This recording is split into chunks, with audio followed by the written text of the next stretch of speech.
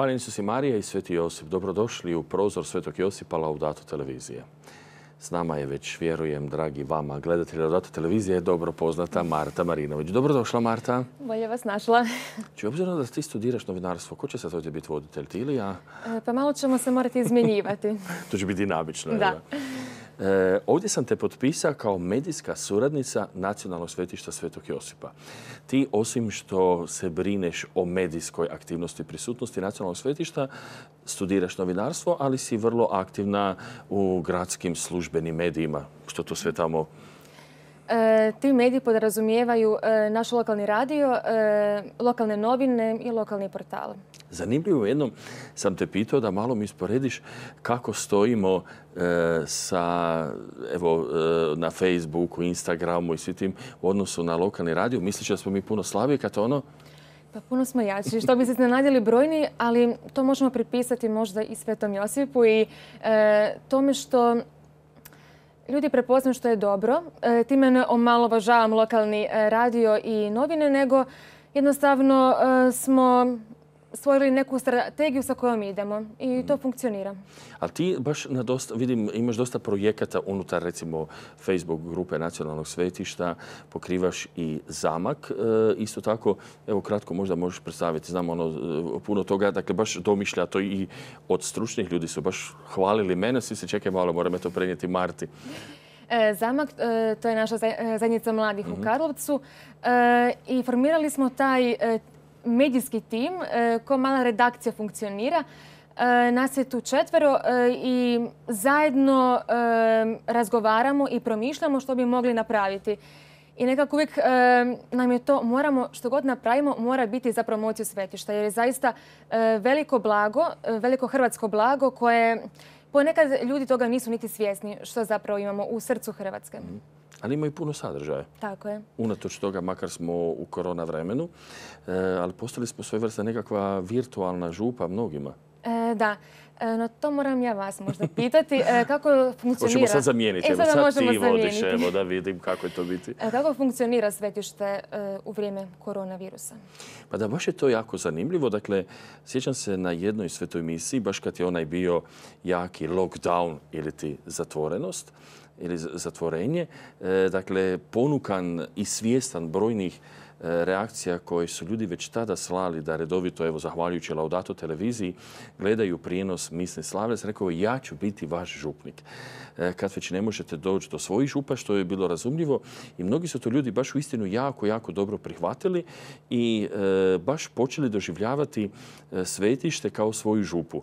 I sad to nije sad samo da je ostalo na toj nekakvoj virtualnoj razini. Evo ispričat ću jedan mali doživljaj.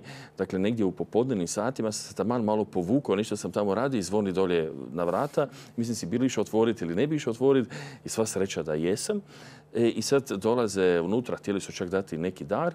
I oni kažu, reko ćemo popiti kavu, dakle evo bilo je stvarno fizički susret.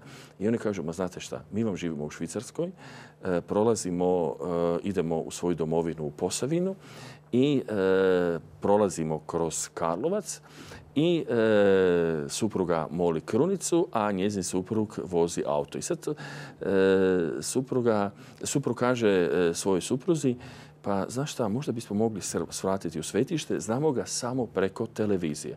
A ona njemu kaže, pa ja sam baš ti htjela to predložiti, ali sam se bojala to reći jer htjeli bi što prije doći, hoćemo time puno skratiti naš put i tako. Zapravo oboje su o tome razmišljali i Bogu hvala da je to rekao. I onda ispričali su mi zapravo cijelu svoju priču.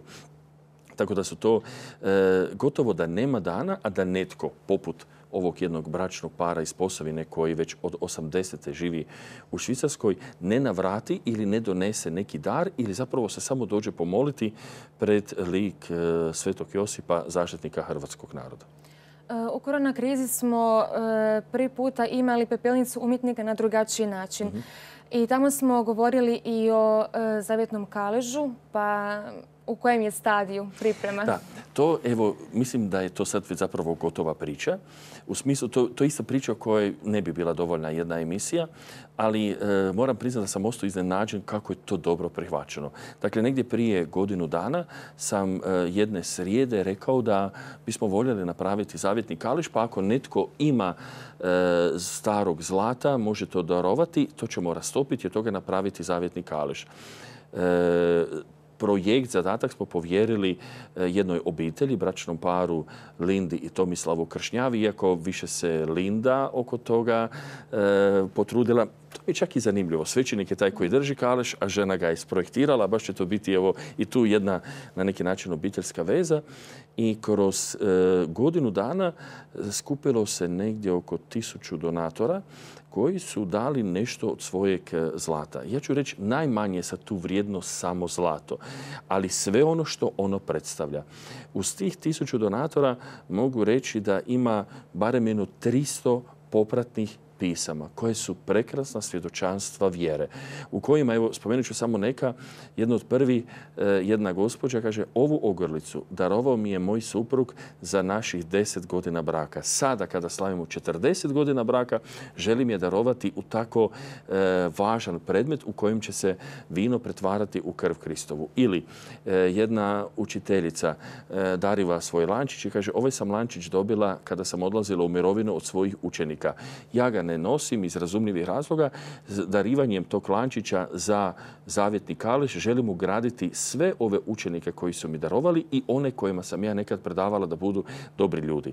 Ili nedavno sada jedna gospođa je poslala istinu jedan mali predmetić, čak manji od grama, i kaže e, ovo je dijelić prstena kojega je meni moja baka dala, a ja sam sada dala svojoj kćeri jer se ona udaje.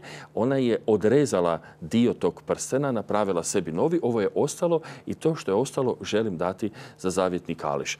Dakle, i to je uistinu e, su prekrasne priče kojima se ljudi na jedan fizički način vežu uz nacionalno svetište. Obzirom da vidite ta potreba postoji još i dalje, mi smo evo sad e, nastavili da ćemo dalje prikupljati za izradu e, svetohraništa, jer ono ono je e, napravljeno kako je napravljeno nije zapravo dogotovljeno, ja bih rekao od jednog običnog e, lima, a i svojevrsno smo imali e, jednu provalu, pa je evo bilo pokušaja da se provali u svetohranište ne zbog hostija, nego valja taj lopov misle da će unutra biti novaca, pa bismo na taj način htjeli sve to zajedno obnoviti i već su se javili neki donatori upravo za to. A samo to svetohranište izradit će provjereni akademski kipar, profesor Hrvoje Ljubić, koji je radio sarkofag blaženog Alozija Stepinca u Zagrebačkoj katedrali. Zasigurno će on to jako dobro napraviti.